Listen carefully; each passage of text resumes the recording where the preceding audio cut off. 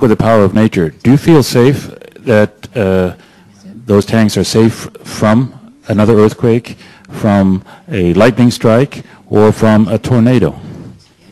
Um, I don't have uh, such uh, expert knowledge about uh, the um, the details of the tanks, uh, but uh, as I mentioned earlier, what I'm truly afraid of uh, is the groundwater. Um, as you know, Japan is a country with a lot of rain. It's, you can even consider it to be a monsoon country. And when we add that to the fact that we are a very, very mountainous nation, that means you have um, a lot of water always running underground to the ocean. Uh, when you look at Fukushima, um, the power plant, you see that nearby is a very big mountain range called the Abukuma uh, mountain range. And mountain ranges are always, as I said, source of water. Uh, and there's just a tremendous amount of groundwater always, always uh, flowing uh, very strongly towards the ocean. Uh, even uh, in our area, Tokai uh, Mura, we have lots, it's a very flat area, but even so, we have a lot of groundwater always making its way to the ocean. But given the fact that the special terrain of Fukushima encourages groundwater, um, I know that at present the people in charge of uh, the Fukushima plant are saying that they will somehow stop the groundwater from getting into the premises of the plant, but I think it's an extremely difficult task. I frankly think it is an impossible task, and I think anyone who thinks that they can accomplish such things and conquer nature in that way is simply just full of themselves and just and, and not really realistic. Um, and uh, I am again very concerned about uh, the groundwater in part because uh, as a result of the meltdown, we have this spent fuel that is just being abandoned and just being left there. And as long as it exists, it is constantly emitting radiation. It is constantly being uh, in contact with water, and you're always going to get more and more uh, contaminated water produced. So unless that spent fuel is uh, somehow um, taken care of, you're always going to have this danger of more uh, contaminated water um, getting out.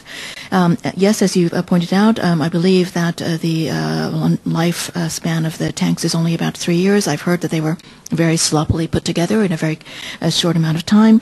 Um, but even more than that, I believe that this groundwater is a tremendous problem, and uh, the idea of this contain, um, contaminated water reaching the ocean, I think, is a very, very serious and frightening thing. John? Siegfried Nidl, freelancer from Germany. Thank you for mentioning, mentioning my country a decision, decision of my country uh, uh, abundant nuclear power. Um, my question is, uh, you are against the nuclear power, but how is, uh, the, majority in your assembly in Tokaimura and the population in, in uh, Tokaimura? There are also um, a majority against nuclear power? Um, in regard to your question, uh, first of all, uh, we do have an assembly uh, at uh, in our village, and uh, there are 20 members, uh, and 19 of the members um, basically created a committee that was going to look. It's a special committee that was going to do research or study the nuclear power issue, and towards this committee, four residents of the community um, basically sent in Uh, uh, submissions uh, for um, ideas that they wanted the committee to adopt. And out of these uh, four suggestions, uh, three of them uh, were basically um, that they wanted the Tokai power plant, number two power plant, to not be to not be restarted and to if, actually have it decommissioned as quickly as possible. And one of uh, the submissions was that if uh, the safety of the facility could be confirmed, then uh, it should be restarted. Uh, this committee took a year to deliberate uh, this matter, and as a result, uh, none of the four suggestions were adopted. Um, if we look at the assembly members in more detail, um, there are about eight members. There are eight members, I believe, who are who are very clearly against the Tokai number two power plant are being restarted. They are wanting it to be decommissioned as quickly as possible. And there are 10 people uh, who uh, have the opposite position that they want it uh, to be restarted. And then there have are two people who are kind of in the middle and have not decided. And this is kind of the power makeup or the uh, the views uh, of the people inside uh, this committee, excuse me, inside the assembly. And uh, although this uh, idea has been deliberated for, uh, this topic has been deliberated for the past year, none of them have changed their positions. Uh, in response uh, to your question about the people of the um, village, we have not done ourselves a survey to see what the people think. However, Ibaragi University has done a survey, and they have come with the result that a little over 50%, just a little bit over 50%, want the Tokai number two power plants to not be restarted. If I could add another extra uh, point, which uh, this is a, a survey was conducted by the Ibaragi newspaper of all of the people in Ibaragi Prefecture, and the result was that, and this was done in July of this year, 59.5% of the prefecture uh, respondents uh, were against the restarting of the plant. Um, um, thank you for mentioning my country, uh, who has to apprehend the loss in the future battle on energy with Germany. We are used to lose in front of Germany, and they are used to also lose in front of us. So we'll see. In 1999, there was an accident in Tokaimura that you mentioned indeed, and uh, I think a few years after that, if I remember well, some people from JOC have been arrested. Six or seven. Um, here we have Fukushima, who I think has also been um, told in the people as a problem born from um, negligence. There were many negligence in Fukushima um, ways to handle the, the crisis. So do you think that in these courses of years, in less than 10 years basically, or nearly 10 years, we've had a lack of I mean, you mentioned universal values, right? I mean, do you think we have a lack of uh, proper justice in the case of uh, Fukushima? Do you think that something has turned wrong or different in Japan between JOC Tokaimura accident and Fukushima? And would you like to see people from Fukushima, I mean, TEPCO people or government people be arrested? Um, yes, as you've pointed out, uh, the uh, JCO criticality accident did um, result in uh, several people being um, pressed uh, with criminal charges. Uh, they, I think it was um, criminal charges that uh, led to bodily harm and actual death. And uh, not only the JCO company, but also the head of the facility and also the person responsible for that section, uh, they were um, arraigned and I think they were given some kind of a, a, a penalty uh, that they had to pay. Um, in regard to uh, the, your question about whether um, people in Fukushima uh, might be arrested, um, I, I think that's basically what, what your question is. Um, I really cannot judge uh, this. It's a very difficult question. Um, but when I think about this situation, um, I am, have been told, and I, my understanding is that what happened with the Fukushima uh, number one uh, power plant, the Daiichi plant, could have happened uh, to other uh, plants in that uh, general region. In other words, all of the reactors along the coast on in eastern Japan, and I'm talking about the three reactors in Onagawa plant. I'm talking about the six reactors in the uh, Fukushima Daiichi and the four reactors in Daini. And also the uh, Tokai number two plant. In other words, 14 uh, nuclear reactors in total. I'm told that if things had changed even a little bit, um, the same kind of horrible situation could have occurred in any of those uh, reactors. As a result, in other words, um, I think a meltdown could possibly have occurred for any of those reactors. And because of this, I think it might be very difficult to simply point to the Fukushima Daiichi plant and try to bring criminal charges against uh, just that facility. Hello, uh, my name is Angela Kuba. Um, I would like to ask about the uh, physical security of the nuclear plants. Um, there have been reports that uh, North Koreans um, may target plants, uh, nuclear plants as an act of terrorism. Uh, do you think that unarmed, gar- uh, unarmed guards are enough to ensure the security of these nuclear plants? Um, actually, thank you for your question. Um, sometimes um, I do hear uh, similar um, questions. Uh, in other words, if armed guards uh, were uh, there, would uh, nuclear power plants be safe? Uh, some people say that we need a military to defend these um, facilities. but I fundamentally think that that's not the answer, whether you have military or armed guards. I don't believe that they can actually protect a nuclear power plant. Um, my whole point is that nuclear power plants themselves are dangerous.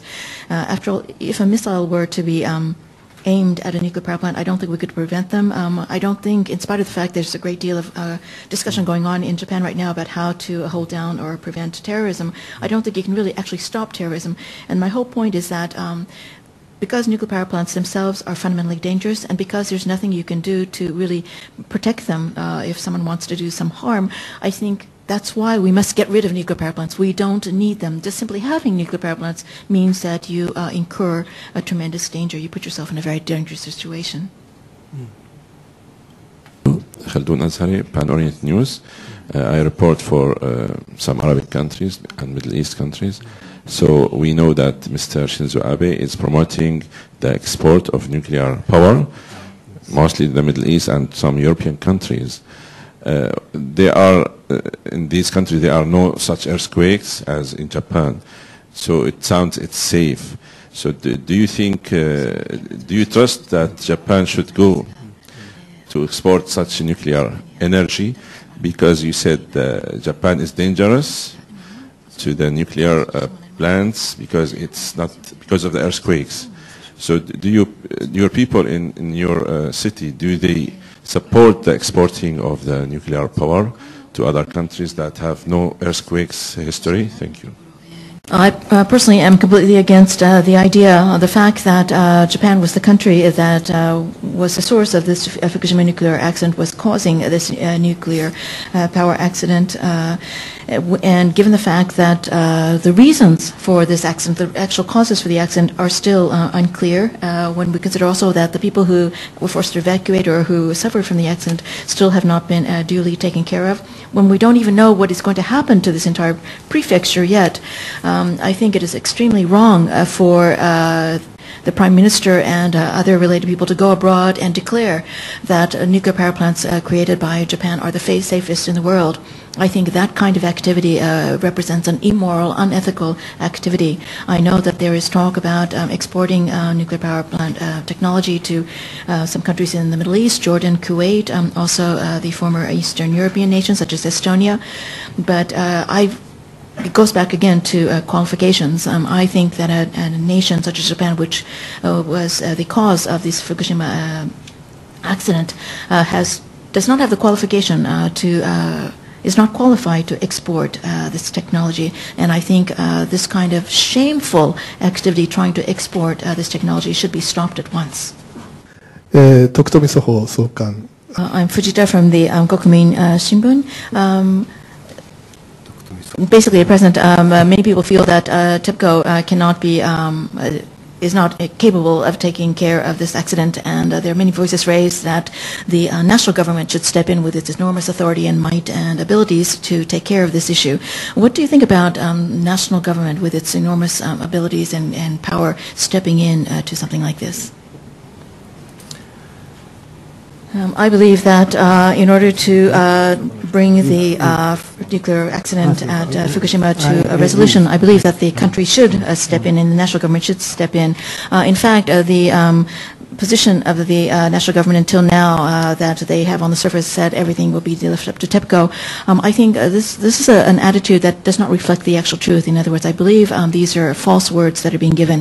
Uh, what I mean by this is that until now we have um, uh, had this fiction that there are these nine huge electric power country uh, companies throughout Japan who have the capability to control and completely be in charge of these nuclear power plants. But since we have seen this terrible accident occurs, we know that uh, that is just a fiction, and uh, therefore, uh, considering the fact that uh, something that this terrible has actually occurred, uh, taking into consideration also the fact that until now it has been the national policy, state policy to promote nuclear power, I believe that uh, the only way to bring things to a resolution is for the nation, national government to step in and uh, take care of this um, incident, accident. Um, I know that there are many consequences that will arise from the uh, national government stepping in in this way. Uh, the first thing that will have to be done is that uh, the system that is currently in place of supplying electricity uh, to uh, the entire nation, that will have to be completely redone, readjusted. And it will probably mean that TEPCO as a company will have to be dissolved or taken apart. And I think, however, that we do need a new organization, a new framework, so that uh, we can bring this uh, accident uh, to a resolution and that we can bring together, build or establish a new um, electrical uh, supply system. Um, I think as long as Japan maintains this fiction, which is basically a lie, uh, uh, I think it will simply uh, invite more and more mistrust uh, from not only the Japanese people but from the world. Of course, when I consider what has been done in the past, the national government has had this state policy of promoting uh, nuclear power, and the way that they have promoted nuclear power has been uh, very similar to uh, the way um, uh, a kind of uh, bad government would operate. In other words, they have used sort of um, military um, police state uh, methods in order to promote uh, nuclear power, and I don't, I'm not in favor of that kind of action at all. But having said all of this, considering the severity of this accident, I think the state must step in. Free to stay uh, for a couple more, more questions and allow me to uh, just ask a question here. Um, so I'll be asking one question, Mr. Murakami. Um, I know that the um, the decommissioning process of the uh, Tokai Daiichi Tokai, Tokai number one uh, power, power plant is taking place since 1998, since it, is the oldest uh, nuclear station. Um, uh, it will be the first decommissioning of the nuclear plant in Japan. And I understand that according to the schedule, the disassembly of the uh, reactor is supposed to begin next year, uh, 2014. And uh, my question is, uh, is it uh, on schedule? And if it is facing some difficulties, what is it? What is it that the decommissioning uh, that's not uh, moved forward as scheduled? And also um, a similar question on uh, Tokai number two, Tokai Daini um, uh, power plant. I know it is uh, stalled, but uh, uh, what's the status of its uh, spent nuclear fuel pool? I know some 320 tons of spent fuel is stored, but is it how is it is, is it in a safe uh, uh, state? And uh, if you can just give me the, what the sta- uh, status of the spent nuclear fuel is on the Tokai Daini. Thank you. Got your uh, uh, question. Uh, first of all, uh, in regard to the uh, first uh, reactor or first uh, um, plant, we don't refer to it as number one. We just say the Tokai um, power plant. Um, it is. 2200台。はい。 Uh, we, uh, first of all, uh, it is uh, in the process of being dismantled, uh, and according to the schedule, uh, the dismantling of the reactor core will not um, begin until two or three years from now. Having said this, however, in um, actuality, in, in the actual fact is that we cannot really start the um, dismantling process because although the reactor core is considered to be um, the, the, the actual category is low-level um, radioactive uh, waste materials. Still, uh, it's referred to as L1. That's its category. It's a low-level uh, radiation. But still, um, the requirement is that it must be buried underneath the ground, uh, at least 50 meters underneath the ground. And the reason we can't, uh, the dismantling process cannot begin is that uh, no place has been found uh, where this radioactive waste material can be buried. So unless a place can be secured, this dismantling of the reactor core cannot begin at all, even though the schedule is several years from now. Uh, in regard to the Tokai uh, number two uh, plant, in regard to your question about the spent fuel, there are about 2,200 fuel assemblies uh, that are already in the pool itself. And separately from that, I think there are over 920 fuel assemblies that are what we are uh, referred to as dry cask. They're not in water, but they're being stored uh, in a dry manner. Uh, and uh, in regard to the uh, spent fuel assemblies in the pool, um, this cooling process is, of course, always taking place. And I have been told that the cooling process is being made even more redundant and is being made more secure and is being made more safe than before. Um, any more question? Your last. The, the fishery in uh, Fukushima is very uh, now affected by the contamination from the sea.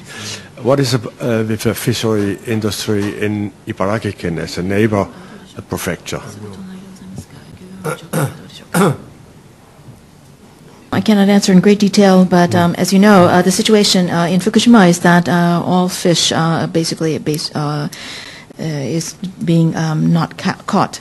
Uh, however, uh, in Ibaraki, the situation is not quite so dire. I don't have all of the details, but um, I've heard that of the fish, it depends on the species of fish, uh, but um, depending on but the uh, numbers of species uh, which were banned uh, are decreasing in number. In other words, more and more fishing uh, is starting to uh, come back for Ibaraki Prefecture. The second round. So why why don't you go first, and then and Joel will wrap that up. is Henry Marini, and I'm a retired businessman. Um, I understand that the um, uh, LDP was quite generous in contributions it would make to local uh, prefectures that would accept nuclear plants, including that kind of uh, income stream. Um, what part of Tokai Mura's economy what percentage of its economy is derived from nuclear generation uh, activities? Tokaimura does not depend entirely uh, uh, on uh, nuclear power plants for all of its subsidies and for all of its tax income. But um, as has been uh, mentioned before, uh, we certainly uh, are very, very much uh, dependent on, uh, in particular, the JEA, the Japan Atomic Energy um, Agency, for a great deal of our um, tax income and for a great deal of our unemployment. As was mentioned earlier, uh, nuclear power-related uh, income uh, accounts for about one-third of our entire budget. Uh, and having said all of this, however, um, I would also like to point out that there are other related um, sources of income. Uh, for example, TEPCO uh, has a big thermal power plant in Tokai Mura, and that is also a huge um, tax uh, income source. Um, the first um, facility uh, in this power plant uh, began running uh, about five years ago. It went into operation uh, five years ago, and it produces one million, million kilowatts. Uh, the second facility um, will start up in um, December of this year, and it will also uh, produce one million kilowatts. And there is also a, a plan decided uh, to uh, construct a third facility, uh, which will be of similar size. Uh, because of this dependency that we have on nuclear power plants and also um, other companies related to nuclear power plants, uh, some people ask us, what will happen to you if you uh, completely sever your uh, relationship with uh, nuclear energy? And uh, I always respond by saying that when we consider what horrible thing has happened with the Fukushima accident, I think that um, all of us uh, in the same position, and what I mean by that is that there are in throughout Japan 17 different localities that have nuclear uh, power plant facilities. Um, I say to I think that all of us should think about how we can extricate ourselves from our current situation, our current dependency on nuclear energy as quickly as possible, because uh, the dreams or the goals that we might have had um, a little while ago, which was that you could build a thriving economy based on uh, nuclear power and related businesses, that dream no longer uh, can be a reality. And the faster you can come to grips with this new reality is better. It's better for the uh, community. Thank you, Joël Legendre, RTL again. Um, after all, you're very um, lucky. You are the only city who has known criticality here in the recent history. I mean lucky, in, of course, as a sarcastic comment.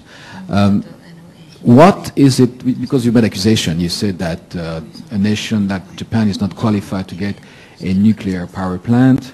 Uh, you also said that there is here a, a hazardous approach to deal with accidents. I mean, what is it, with your experience, that has caused um, the, your catastrophe in, in Tokaimura? The fission, the criticality, the accident was very serious, first time ever it happened. Might happen, might happening in Fukushima right now. We don't know what's going on exactly. What do you think that is wrong with the regulation authorities? What do you think that is wrong with the, the ministries, the authorities, the government? What do you think is wrong with this country into uh, succeeding into having um, more any assistance and, and relief in, in this crisis here? And Do you think it should call for international aid eventually? Um, I guess you're basically asking a question about um, what are the fundamental reasons for um, all of these failures that we're seeing uh, in regard to nuclear energy use uh, in Japan. Um, I believe that when we look at nuclear power plants, we, we look at um, the use of nuclear energy, I think the fundamental problem for all of this is that uh, Japan did not develop uh, nuclear technology, uh, the science of nuclear technology on its own, but rather basically imported it um, as a package deal from the United States. And over time, although Japan has uh, been using and operating uh, nuclear power plants and has been using nuclear energy, uh, they have not really done fundamental scientific research on their own, and so they've basically made minor adjustments to this technology that they have imported from uh, abroad. Um, compounding uh, the difficulty was the fact that uh, nuclear energy uh, was something that was very necessary for Japanese growth uh, at that time. And so, uh, because uh, the uh, positive aspects of nuclear energy, uh, the amount of electricity it could produce cheaply, was uh, considered to be so important, the other side, which was how to control and regulate the very dangerous aspects of nuclear energy, was not given uh, enough thought and uh, enough time. I think that is the fundamental um, reasons that we're seeing uh, these problems. In fact, when the JCO criticality accident occurred, I pointed out to the authorities that there was a fundamental uh, problem uh, in the system for regulating um, nuclear power plants because uh, in the same organization you had uh, the promotion and the regulation uh, of uh, nuclear energy. But again, this goes back to the fact that uh, at that time in Japan, uh, economic growth was considered to be the greatest goal, and the uh, nuclear energy was considered to be something that had to be necessary in order to promote and make possible economic growth. And so in order to achieve uh, economic growth and to be able to use uh, nuclear energy, um, a lid, basically, or a cap was put onto the dangers of uh, nuclear energy. And I think that lid was something that we now label the safety myth the myth of safety that nuclear energy can be controlled. So this was a kind of um, mental or psychological um, makeup of society at that time. That was the system that was in place in society at that time, and I think that has continued until the present time and basically led to the Fukushima accident. You can, you can. Thank you very much, uh, Mayor Murakami. And uh, this will wrap up the, uh, the press conference by the Mayor of uh, Tokai Village. And thank you for. Uh, yeah, yeah, wait a minute, wait a minute. And uh, uh, as a custom, uh, We'd like to present um, uh, Mayor Murakami the one-year honorary uh, guest membership. Please come and have a drink with us. ありがとうございます。